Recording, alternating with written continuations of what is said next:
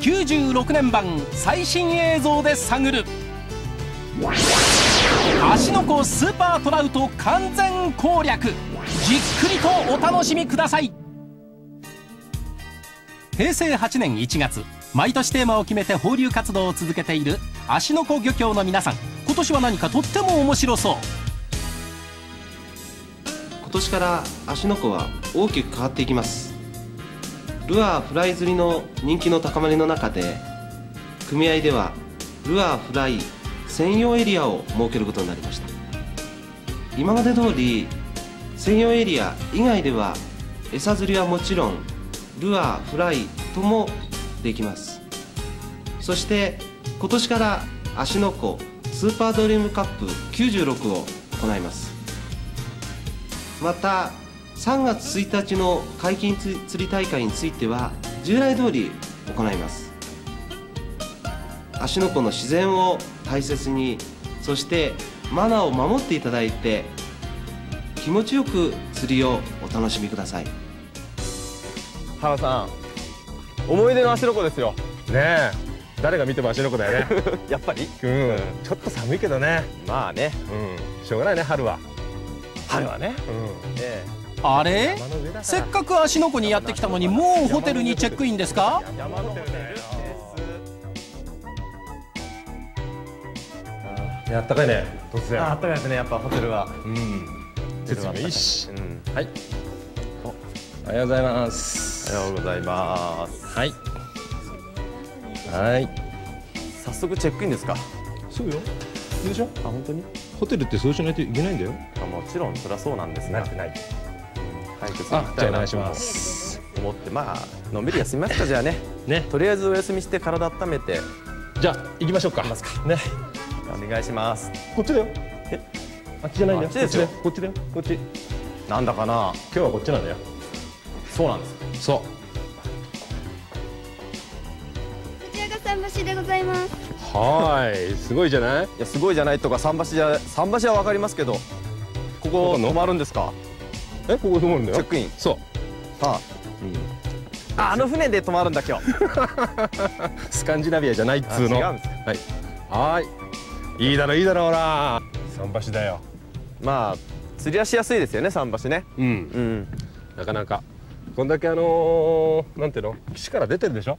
そうですね、うん、だもうボート乗ってると一緒でしょ？ボートの位置とこの位置と一緒じゃない？ほらね、なるほど、ね、足場足場は動かないし。そう。もっと動いちゃってね、結構、ね。うん、あなるほどな。いいこと言うな。さすが原田さん。それが海流がなきゃダメなんだよ。あ海流来ないと来ないとダメですか？そう。でいつもこういう桟橋乗ると、ええ、我先に一番前行くだろう澤部君は、うん、うん、それが違うんだねダメなんですか、うん、こういうとこほらなんていうの？駆け上がり。ブレークが近いでしょ？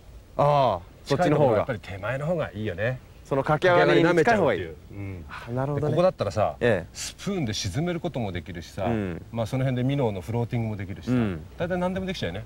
それでさ、はい、目線が高いじゃない？こういうとこって。どう見ても。あそうですね。ねボーテル全然高いよね、高いですねこれ。ということは、ルアー投げたルアーをずっと目撃でき続ける、し続けられるよね。下待ってませんね。そうですね。ごめんね。なるほどよく、よく上から見える。魚も見えると。そうそうそうそう。でもあれですね。食わせのタイミングだってわかるじゃん。あ今食ったとかね。そうそうそう。それから水りができちゃう。ドカンと跳ねたってさ、そのままもうダイレクトイメージだよ。ああなるほどね。そう。面白いな。そういう面での面白さってあるでしょ、うんうん、でボートで例えば立ったらちょっと危ないとかさ、うん、こんなの立ってても全然危なくないよね。そうですね、うん、で休みたいっつって休むここでじっと休んでもいいわけだし。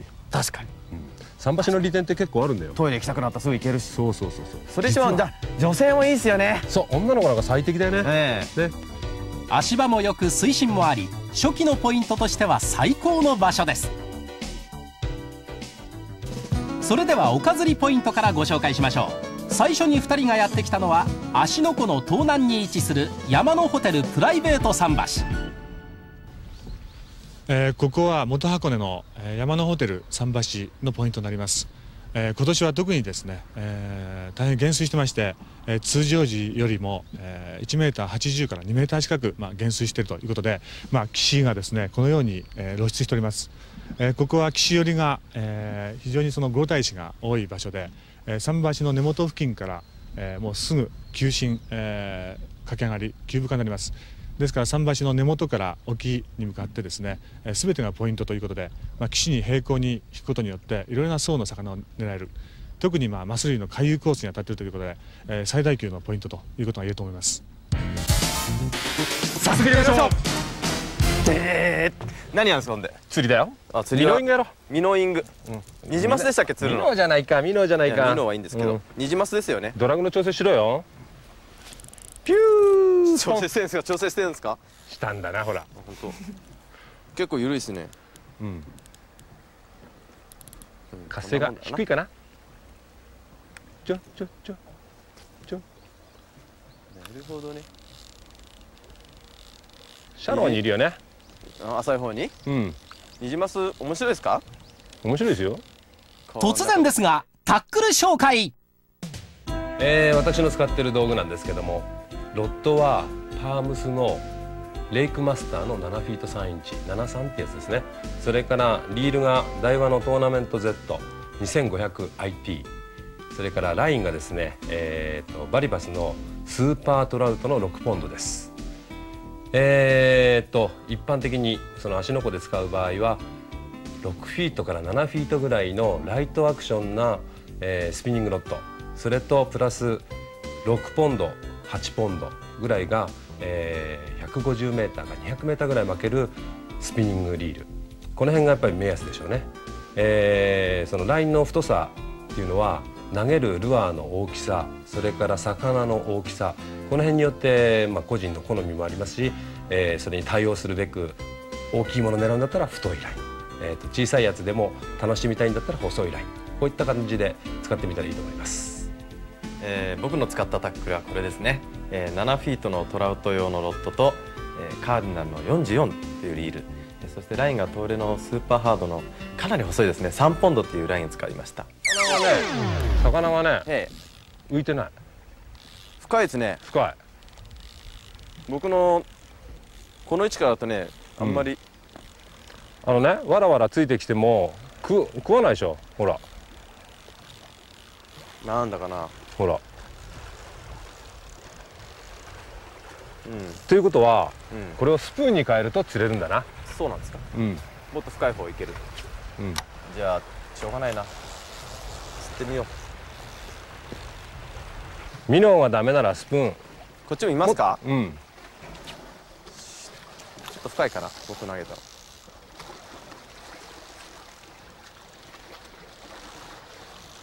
あ来たちっちゃいな。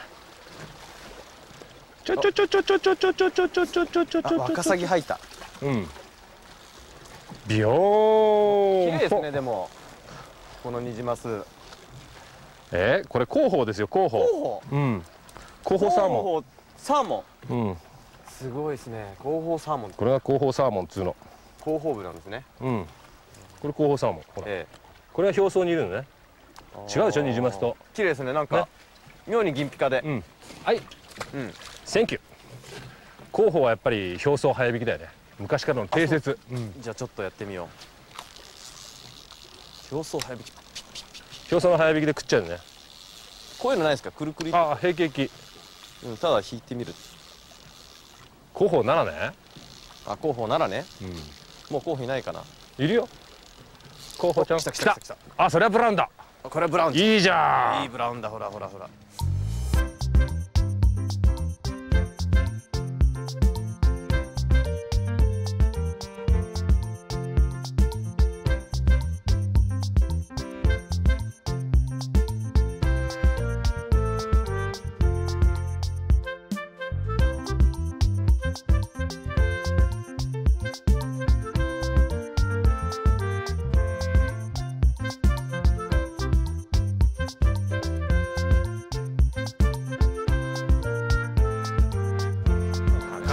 が良くないな。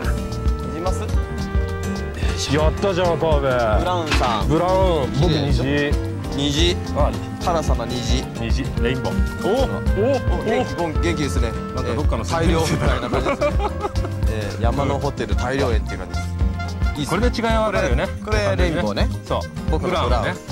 足の子の売りだから。綺麗ですね売りの二魚種。そうですね。はい。ということで私お願いします返してあげるね。はいリリース。よいしょ。よいしょ。いや水冷たいんですよえー、三島さんは大したもんだ。こんな寒いところにいるんだから元気いいですね寒いけど。うん。さすがバスはいないですね。そう。冷水性だからね。まあね。トラウトってね。へえ いやトラウトも面白いですね。面白いだろ。やると、うん、実はハマっちゃう。実は結構やると面白いですねこれ。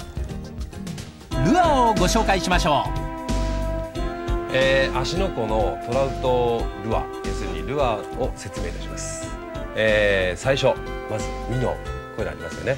魚のタイプをしてるミノ。それとあとスプーン。金属片なんですけどね。これがゆらゆら動くこれがスプーンです。で、えーと、選びの基本なんですけども色とサイズそれからあと探る層ね棚。要するに表層なのか一番下の底の方なのかっていう、まあ、この3つがやっぱり基本なんでしょうね。で、えーと、ミノの方から話します。まずこれがフローティング。でこれってすっごい大きすぎないって思うでしょ？ところが、あのー、これも活性があればドンと食っちゃいます。ちなみに3 0センチぐらいからでも食っちゃうでしょうね。で、えー、ちょっと冒険なんだけど、えー、ヒットする瞬間が見たいっていうんだったらこういうでかいやつで表層水面を狙うっていうのがいいですね。こっちがサスペンドになります。フローティングまあこれ並べてあるのがフローティングからサスペンドそれからシンキングってなってるんですけどもフローティングっていうのは表層から、えー、引けばちょっと1メーターぐらい潜るかなっていうところ。でサスペンドっていうのは水引くと水中でこう止まります。まあ、ものによってはスローに少し沈むやつと少しずつ浮いてくるやつとありますけども基本的には途中で止まります。水中で止まります。というのは活性が今度低いマスだと浮いちゃうと食わないとか沈んでっちゃうと食わないなっていうのはちょっと止めてここで見させる。でそこで次のアクションで食わせるってそういったためのサスペンドっていうのがあります。シンキング。これは完全にこのままゆっくり待ってればずっと沈んでいきます。だから、えー、例えば5メーターの棚を殴ろうってった時にこれでそのままちょっと時間はかかりますけども待ってれば沈むと。そこの方をゆっくり引いてくることもできる。で、えー、シンキングっていうのは一番大体重くできてるから一番飛ぶんですよ。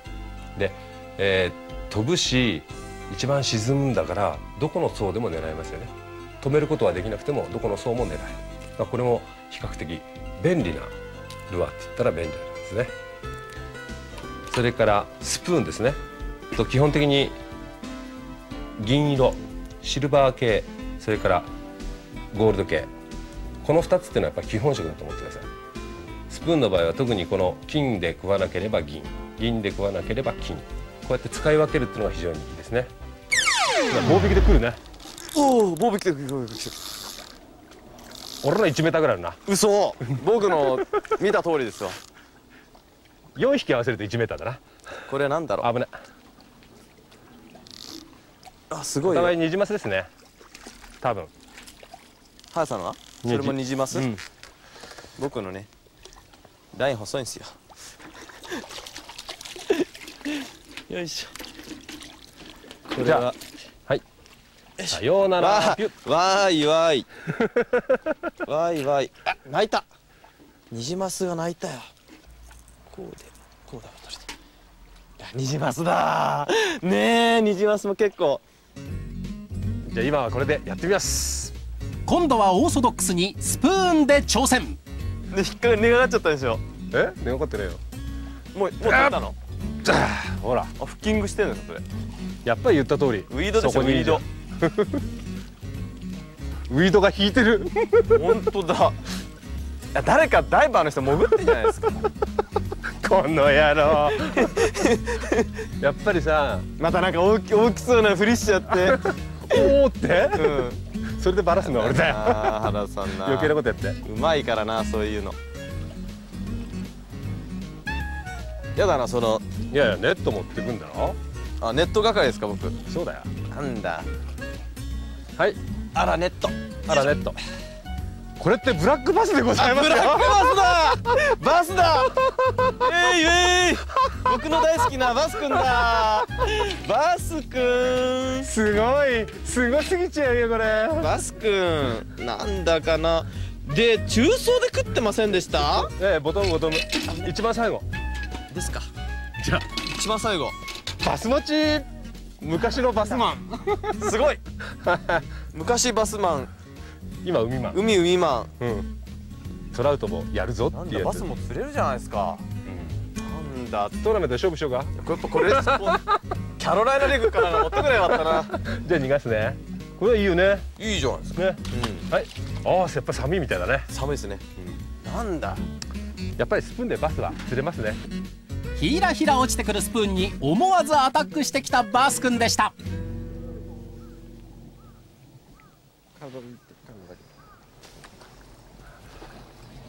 はいネット。はい。でかい？いやそんなすごくでかくないけどでかいよ。おおいいじゃないですか。きれいきれいなんか太ってんな。お入らないよ。あ入っておっしゃー。よし。なんか重いじゃないですかなんか体型が似てるね。うん。なんだかな。人と似てるね。結構。セモヤンタイプ。いいね。グッこんなのが釣れます。いいだろう。いいっすね。ね。おおおおおお恐ろしいマジマジマジ元気元気嫌だっちゃってさっきまで実は釣られてると思ってなかったんだね実はそう泳いでる泳いでるの泳がねそうそうそうそうはいはいはいはいバルガオちゃんでいいよね可愛い顔ですねこいつボディ太いしね、次のポイントは芦ノ湖の北東に位置する飯塚の桃源台。えー、ここは、えー、芦ノ湖の中でも一番大きな、えー、湾であります小尻湾、えー、そこの、えー、飯塚、えー、というポイントでございます、えー、この湾はですね、えー、湖に向かって、えー、左手にですね、えー、観光船ボート、えー、その他の桟橋が点在する、えー、ポイントです。えー、また、えー、湖に向かって、えー、右手の方にはずっと、えー、小石が点在する、えー、ポイントが、えー、露出しております。まあ、通常ですとですねこの辺が、えー、水の中ということになるんですが今年は、えー、このような減水ですので、えー、即もう、えー、ポイントがですね目の前に広がっていると非常に広い範囲で、えー、岸から攻められる場所であります。原さん。ん？浅いですねここ。なんていうとこですか？ここは桃源台桃源台ってこんな浅いの？なんかすっげえ浅いですよ。キャンプ場の横でずっと浅瀬がずっとついてるでしょ？ええ、うん、いるんですか？昨日俺がいっぱい水飲んでたから浅くなっちゃって。なんだかな。あんまり飲まないでくださいよ、うん、浅瀬ってね、ねあのー、釣り方変えればさっきみたいにほらそこの方を狙うんじゃなくて、ね、表層を狙えばいいと。あ、うん、あんまり浅いところにいるから。沈めちゃうとまっすぐ引っかかっちゃうからね、ちなみにほらこういうスプーンもさっきと全然違うでしょ？軽めですね。軽めで、うん、僕もだからフローティングミノ。そうそうそうここにですねそれ海でしょ？くるみ用だよ。ああそんなんですか。だってニジマスだって海よるとスチールヘッドだよ。あなるほど、うん、海にもいるから。そうそうそうそうそう。ですよ。同じ同じ早かすいもんで繋がってるから。まったくもういい加減なことばっかり言ってたこのおじさんは。本当に、うん、でやろうよ、うん、はい。さあ焦っていっちゃおうかな。なんか早くありませんか？なんかどこどこに狙おうとしてませんいやバレ先。この横がいいじゃん。ここの深いじゃん近づいてんじゃん？深いのね、うん、あの桟橋の周りは、うん、でかいで入るから。あ知っただからやだよ原田さんは。ダメもう。皆さんもあのちゃんと変更グラスだけはするようにしましょう。いつもはしてる今日忘れちゃったら何にも見えない。これ本当はさもう、うん、もうちょっと前出た方がいいじゃんうわジャンプ。かっこいい。ジャンプ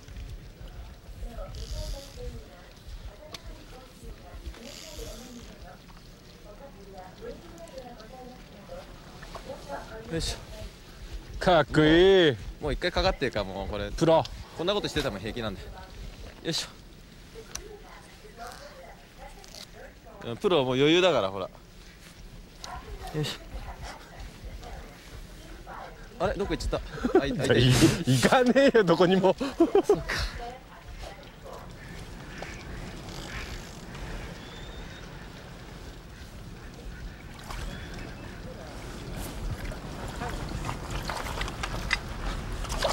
よいしょほらこれが。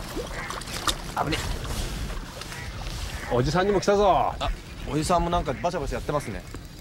じゃあとカーベの隣行っちゃうかな。回ってきたのかな？違うよ。ブラ。ブラブラって言うとなんか変だな。ブラブラうん、ね、うんくだっていうのもブラうん。ここに。あこれほら模様がさすっごい。あ面白い。じゃあ僕の。ほら綺麗でしょ。僕のもうリリースしちゃいますよ。ほら。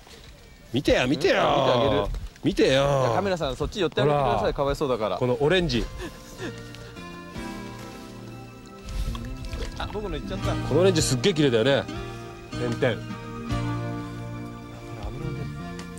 あ綺麗だな。ね。僕のこと？いい。じゃない。もう原さんったら こんな感じだね。ばっかりなんだから。そんなことないよ。真面目やってんじゃんいつも。いつもいつだって。よし帰ろう。おお芦ノ湖漁協の人に怒られちゃいますよ。今ブラウンの恩返しでさ水かけられちゃったよ。またそういうこと言ってるから。真っ白にしてんだもん。川辺みたいなやつだなこれ。おおでかいじゃない。お前ずりーな先々行って。でもこの辺ブラウンばっかだねブラウンばっかですよブラックとかいないのかね？いないと思うさっき釣ったな。あ体巻いてます。ちょっとここでワンポイントアドバイス。ブラウントラウトのファイトはこの独特のくねくねくねくね実はこれでラインを体に巻いてしまいラインブレイクを起こすことがあります。特に防ぐ方法はありませんが常に一定のテンションをラインに与え続けることと釣り上げてからのラインチェックが大切です。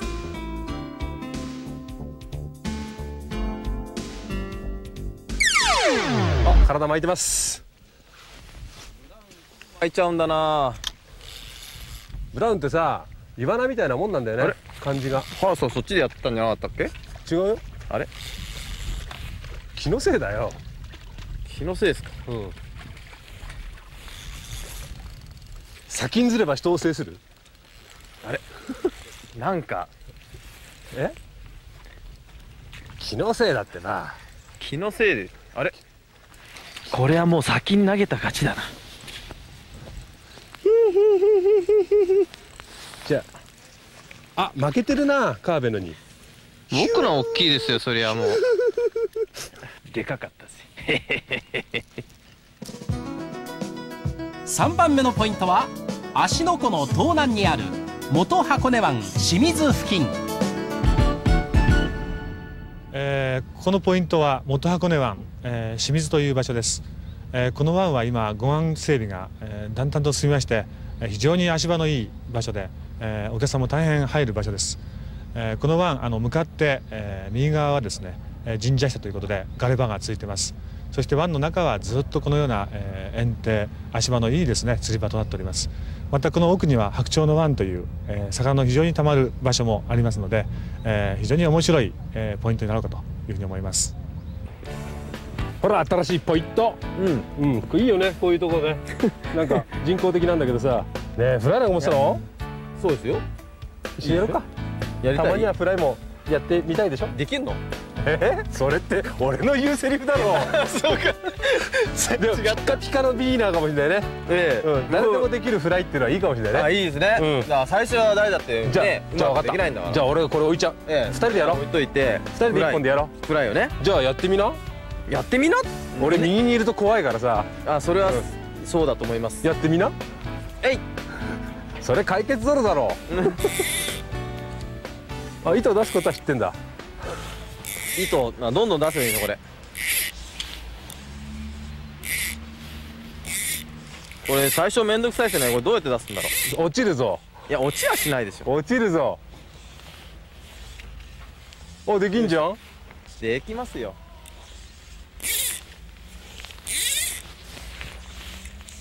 あれ引っかかってきた。それって無謀だよな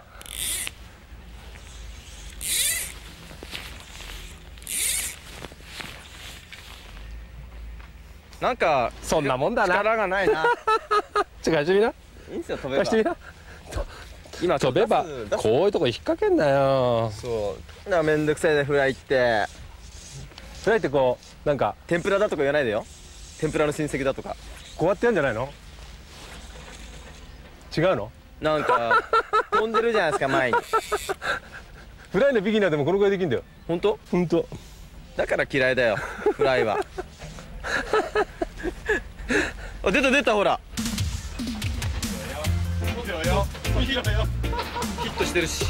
原さんすいません。はいはい。ここはねあのモタールの園地内はね、ええ、お客さんがいっぱい後ろ通りますんでね、うん、一応ね今回ねフライはねご遠慮願うっていうことでね お願いしてんですよ。あっちゃー。申し訳ないけどね。いやいやいやいやいや。ルアーでお楽しみください。危ないもんね。ね後ろやっぱりねお客さん通ったりなんかして、ね引っ掛けたりねなんかちょっといけませんのでね、うん、またまたここでワンポイントアドバイス芦ノ湖の遊漁量はご覧の通りとなっています。また引数制限もあります。みんな守ってね。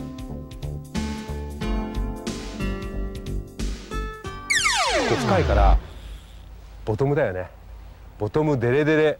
それでデレデレデレデレこうやって引くと駆け上がりがきついでしょ？きついから根がかっちゃうんでちょっとこうそこについたらこう下でこうジャンプさせるみたいなこういう感じで。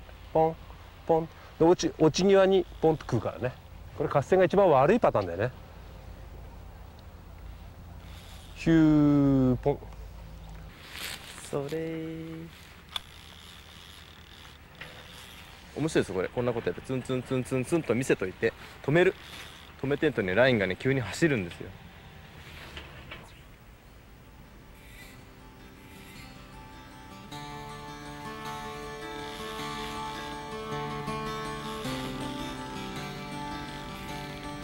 あ来ちゃった。走る前に来ちゃった。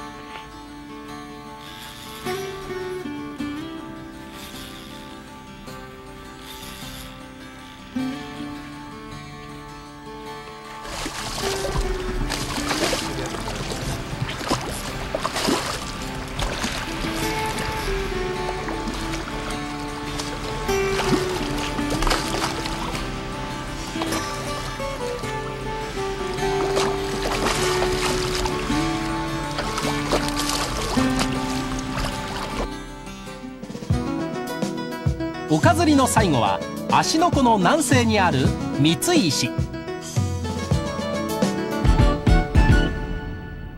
えー、ここは三井市と言われるポイントで、えー、箱根湾の、えー、沖に向かって左側の端にある、えー、ポイントです、えー、ここは見ても分かる通り、えー、大岩が点在している場所で、えー、水の多い時にはですねこの大岩が、えー、水の中に隠れるというポイントです、えー、ここは、えー、今年より、えー、ルアーフライの限定エリアということで、えー、これを起点としまして、えー、湖尻の亀ヶ崎までの間、えー、ルアーフライ限定の釣り場となります。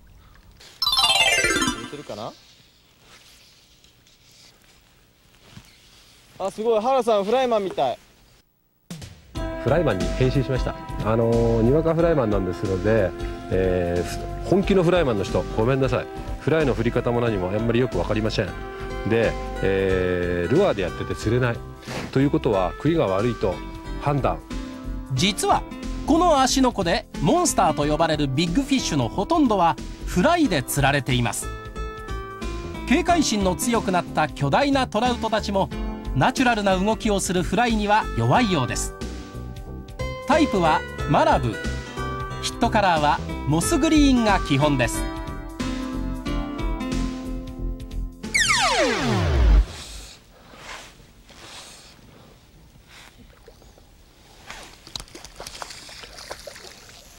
レインボーだ。あブラウンかい？いいファイトするね。完璧。ブラウン。よ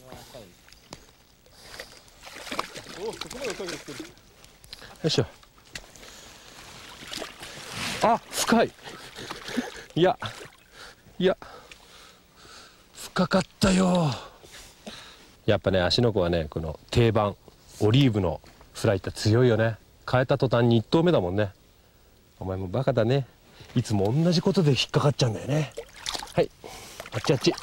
方向が違う方向。があららうろたえております。後ろで人釣れるかもしれない。そう。こうじゃなくちゃ。って映してねえの。ちくあ ら来た。おでかいでか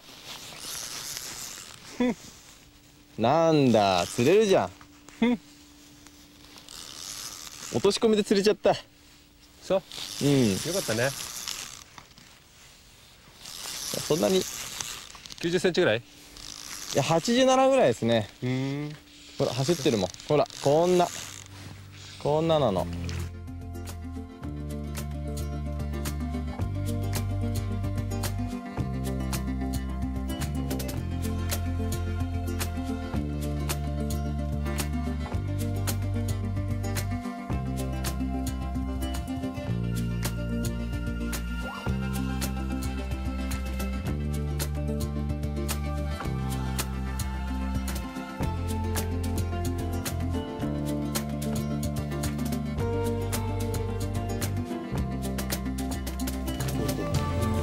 ンさんですよ。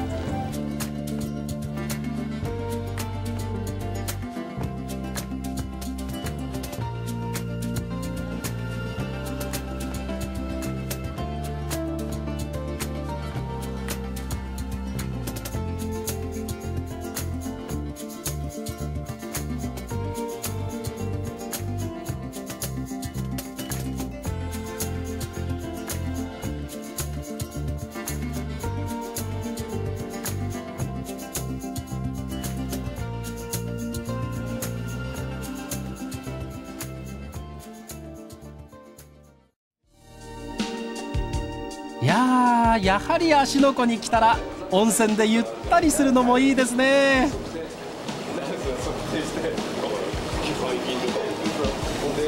はいお疲れ様。でした。楽しいよね。最高でしょ。いいっすね芦ノ湖ね。で何この2人にしては？とっても豪華じゃないですかとってもとっても。男2人の雰囲気じゃないよね。ね。普通ね、うん、ええ。でもこれがあの釣りのリゾートで楽しむ釣りっていう感じだろ。あ大人ですね。大人なんだよ。大人なんだよこれが、まあ、東京からも程近いし、うん、うん、いいっすよね。豪華な料理に舌鼓を打ちながらゆったりと今日の釣果について話し合う。本当に心の豊かさを味わえますね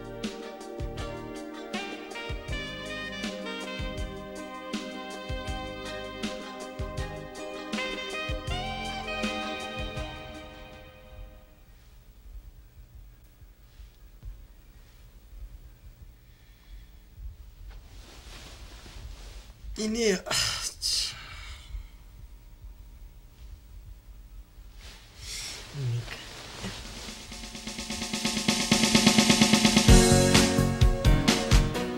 いやいい天気だね。いやね最高ですね。うん。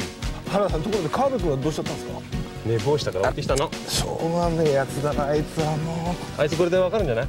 俺の性格が。ね。今日は船で？そう船ででっかいミノとかでドカーンと大物だけをでのわかりました。ね楽しいと思うよ。はいはい。えところで遠藤真一さんの紹介をしなければいけないんですけどもえー、バス歴20年トラウト歴20年すごい。プロトーナメントバスとバスのプロトーナメント2回優勝、はい、もう完璧だよね、うん、僕のお師匠さんで。任せてください。今日頑張ってください。はい、はい、では行きましょう。はい後半はボートでとっておきポイントを紹介しましょ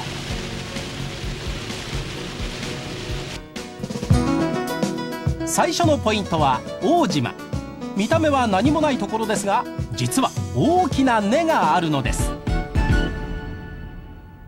えー、このポイントは大島と言われる場所で、えー、芦ノ湖の中でも非常に、えー、特異的な場所でございます、えー、東ヶ島の沖に、えー、沈んでいる大きな根がございましてえー、そこには、えー、非常に水通しがいいために、えー、ブラウンニジマスが、えー、よく、えー、つく場所です、えー、水深は、えー、今減水してますから1.8メーターから2メーターぐらいですが通常では4.5メーターぐらいある場所です。はい、えー、ここが大島ですね。大島っていうんだっけ本当は。大島ですね、ね、ここ何にもないところなんだけどどうやって見分けるのかなそれでは大島の山立ての仕方を説明します。山のホテル桟橋と二つ石手前の小屋を結んだ線と箱根関所跡のそばにある杉の木とレストランピーコックが見え隠れする線の交わったところが大島です、えー、今までちょっと23頭だけなんですけどフローティングミノで狙ってたんですがちょっと当たりがないもので広範囲に広広範囲に探れるスプーンでちょっと狙ってみたいと思います。首も渋いだろうからフックもシングルフックに書いてあります。ちょっとじゃあしてみます。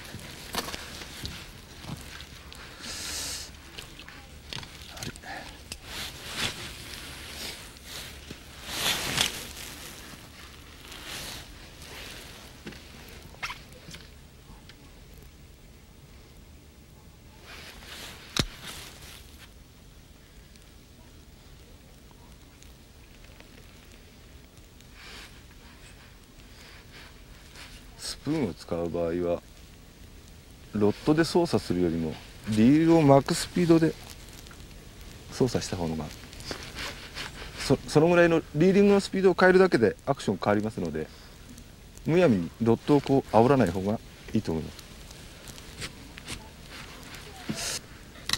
9あらヒットおでっかいの切っちゃった。あバレちゃったこれ針解いてないんじゃないの？解いてる？スプーンですか？スプーン。大丈夫？やってくれるよな。甘い。甘いじゃなくて解いてねえじゃんけ。ああそうだ。それ解いてない。人のスプーン使ったら解いてなかった。バーブレスフックの作り方を今見せます、えー、バーブっていうのはここのことです。この返しの部分ですえーと、この返しがありますとですね魚が加えた時に外れにくいということなんですけどもこの外れにくいってことはもしもここに手に刺した時にはやっぱり外れにくいですよね。非常に危険なんです。でこれを潰してしまえば、えー、魚も外しやすい。それから人間にがもし怪我しても外しやすい。怪我はすごく軽症で済みます、えー、ただそこで魚が割れやすいんじゃないの？っていうことがありますけどもそんなことはありません、えー、ラインのテンションさえ張っていればライン要するにラインをいつまでもこう張っている状態であればまずバレません、えー、じゃあやりますね。でこの部分をペンチ1つペンチ1つで軽くキュッと握っていただければ握力が10キロもあれば十分潰れますから。実は売ってる状態というのは研いでません。メッキ加工されてますから刺さりはあまり良くないんですね。実際にこうやって爪に立てても多少傷はつきますけども刺さりはしません。でこれを研ぎましょう。これも三面研ぎです。両面こう研いでいただいたら上から研ぐこれを三面を丁寧にやって時々こうちょっとチェックしていただくとこれがスパッと入ります。こういう状態になったら、え OK ですから。こういうメタテヤスリっていうのを持ってると非常に便利ですね、えー、目はちょっと荒いんですけども作業が早いんです。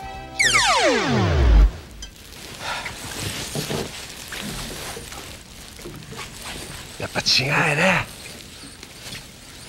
ほらもうこの引きの速さ。あ釣れてる。あ違うのええ水っぽいですこらちっちゃいぞピューチお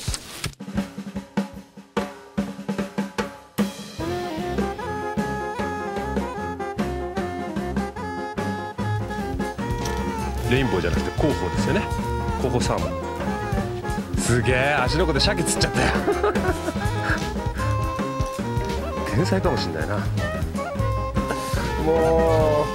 あ人だけどあああ釣れた釣れた釣れたシュンシュン釣れたバレちゃうからまたここでワンポイントバレちゃうかなって言ってるやつは大体バレちゃうんだよあこれも候補ですかね候補ですねああいけねもう何やってもうまくいかないああいけねああいけね手つった手かっこいいなあやっとこれ最高どのくらいになるんですか50センチぐらいなんじゃないよし。プレッシャーちょちょっとなくなった。いいっす。次のポイントは芦ノ湖の南西にあるほうきの花。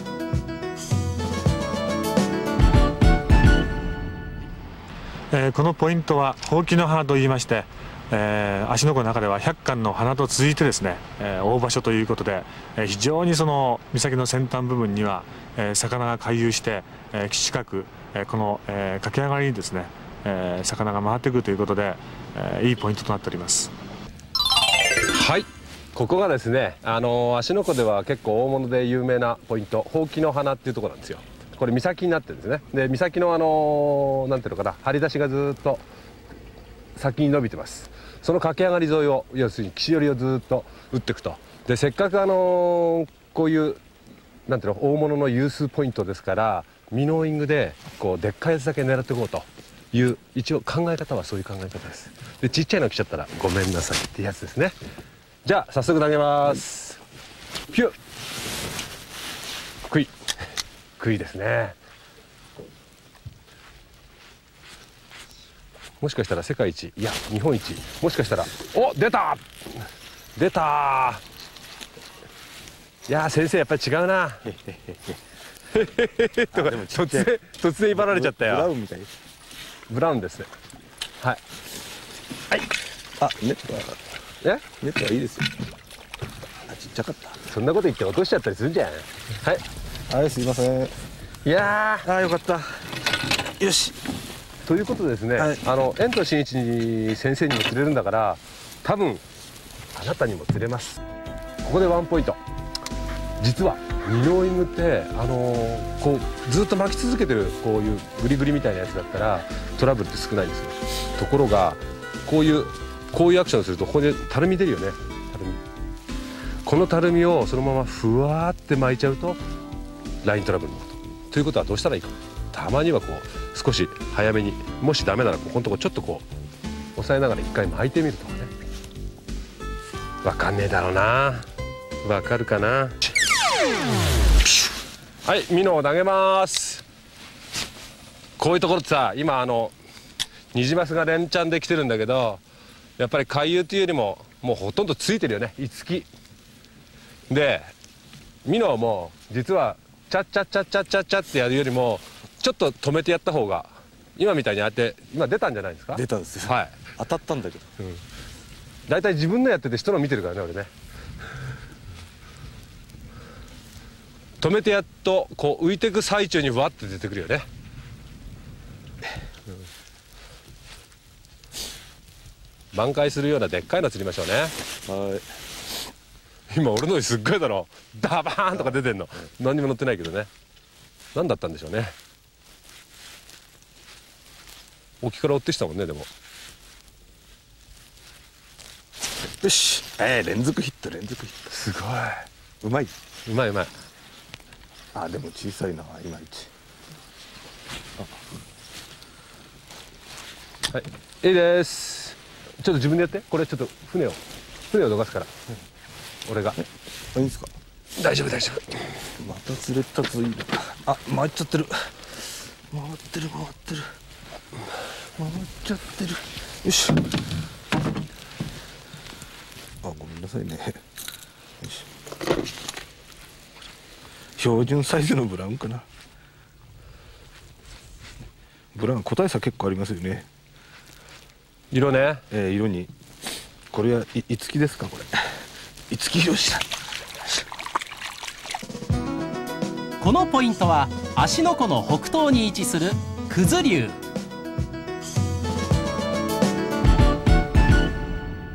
えー、このポイントは、えー、九頭竜、えー、見ても分かる通り、えー、水中には九頭竜明神の、えー、水中鳥居が立っております、えー、ここは幾分湾になっておりまして、えー、岸は、えー、砂浜ですが、えー、だんだん沖に向かって駆け上がりになって、えー、湾内全体が、えー、いいポイントとなっております。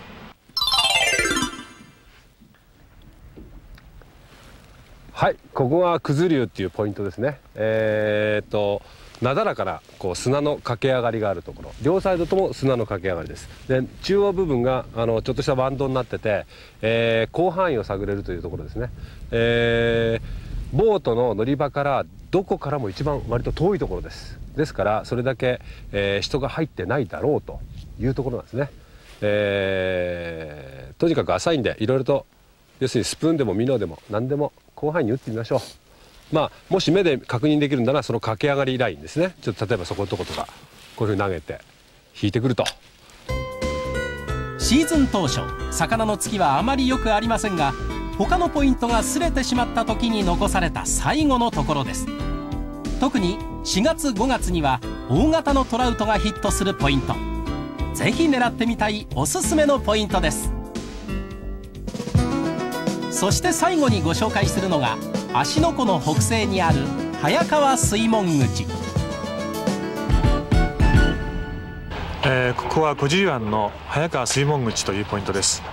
えー、岸に向かって、えー、右側には、えー、芦ノ湖キャンプ村の、えー、ガレ場がついております、えー、向かって左側には、えー、七ヶ浜といいまして砂浜で、えー、途中に、えー、大石が点在するようなところで、えー、沖合15メートルほどに駆け上がりありよく、えー、マス・ブラウンが、えー、回遊しまた着く場所でもあります。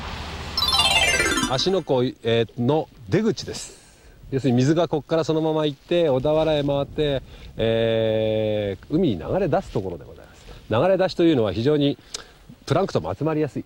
魚も要するに小魚も集まりやすい。大きい魚も集まりやすいというところです。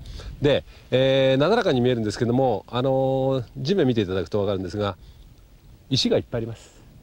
ああいった石当然水中にもあります。その際を狙うと思ってます。えー、ここも船から狙うんだったらやっぱりミノーとかが一番いいでしょうね。ミノーでこうずっと狙う。あのスプーンで底の方狙っちゃうと結構根がかりしてなくしちゃうということですね。なんて言いながら師匠はもう狙っております。なんか魚実は隠れて俺俺釣れた。俺釣れた。ちょっとちっちゃかったから元気にうまいっしょ俺って天才って言ったら花さんと一緒になっちゃう天才じゃねえよあリープ使ってんのね、うん、今釣れたのはこのルアーで釣れたんですけども同じ原田さんが今使ってるミノーと同じなんですけどもリップが違うんですよ潜るディープダイプタイプなんですけど同じ船で乗ってて同じルアーを使ってても面白くないんでいろんな層を探るためにこのルアーを今使いました。でここは比較的沖目行くと駆け上がりがちょっときつくなってるんですよ。その分そこをトレースするようにしてきたら今釣れたわけああでかいでかいでかいでかい。いやこれこれ尻尾だ。尻尾だよ尻尾。ちょっとボディにかかっちゃったかもしれないですね。これじゃあだってシイラだよ もう俺のこと信用してないんだから。よいしょ。はい。あかかっち。ゃったオッケーオッケーオッケー。もう外れたでしょ、うん、はい。あ。あ俺のよりでかい。俺威張っちゃうかな。なんかさっき脳ガキ言ってたんだけどさほらこの顔。なんか似てるよね。丸顔でね。こんなに目は可愛くないな。はい。はい魚寄ってきました。はい。まだ弱ってないんですけど弱ったと想定しましてこれがこういう時はやめましょう。ね。でこれがこういうふうな形。頭をこっちに向けて少しこう寄せる。暴れてる時は決してやらない。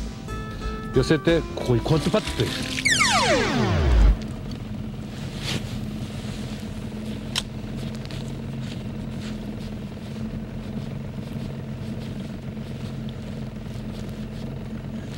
よし来た。